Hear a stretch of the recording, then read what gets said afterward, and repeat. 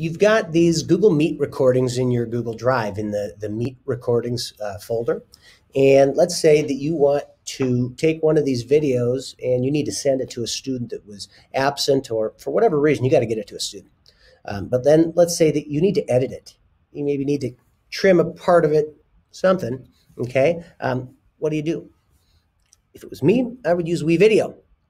So I've got WeVideo up right here. And what you go to is video. Okay. So once you get into WeVideo, if you don't see this screen, click on dashboard, it'll bring you here.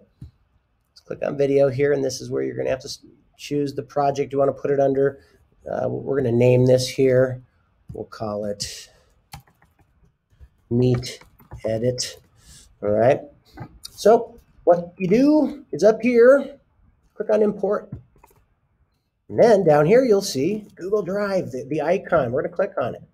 I've had trouble with this before. Ah, awesome. So, um, by the way, if it doesn't let you get into your Google Drive folder here, here's what I did. I noticed that up here, this I that you see, it had a cross through it. It was crossed out. I clicked on it. It um, it allowed the cookies. Then I had to reload the page, and then it worked.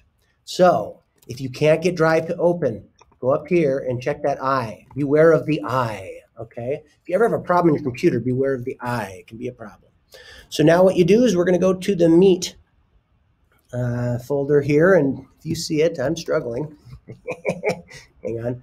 We'll search for Meet. Meet recordings. All right. There we go. We'll click on this. Um, so let's choose any one of these. This one right here looks good.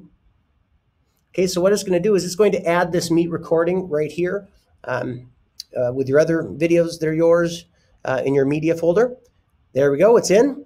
So then what you do is you just drag it down. All right, so the video is now in there. Okay, now at this point you can do all kinds of things. I'll keep my mug there. All right, we'll um, make this a little bigger, this line. Come on.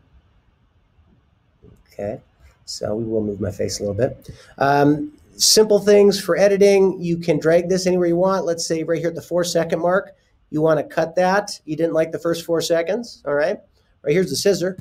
Click on that scissor. Click right here, make sure it's just that one that is highlighted, then hit delete, it's gone.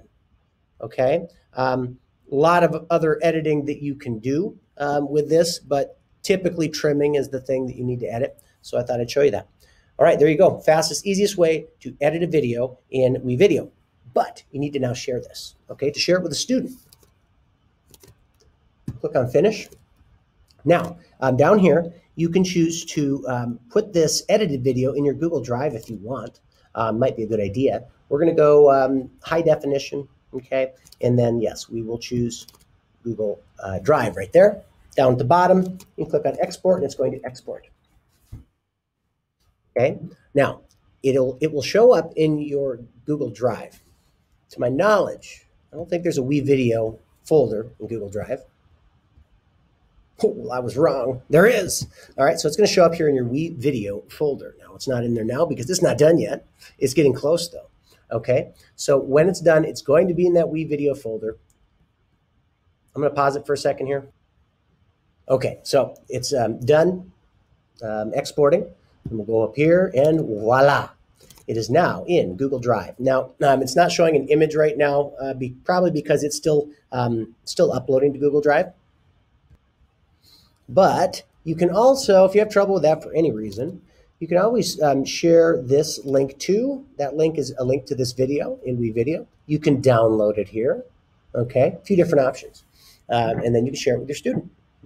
All right, give it a try.